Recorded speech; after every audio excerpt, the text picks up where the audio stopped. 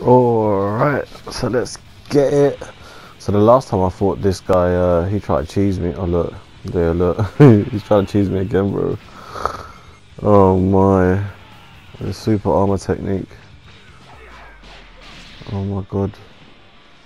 I'm gonna have to power rush him or something.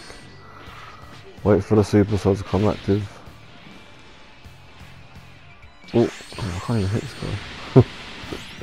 Come on, four, three, two, one. Pow! Pow! Look at the damage. He doesn't even notice. Look, he's panicking, he's panicking.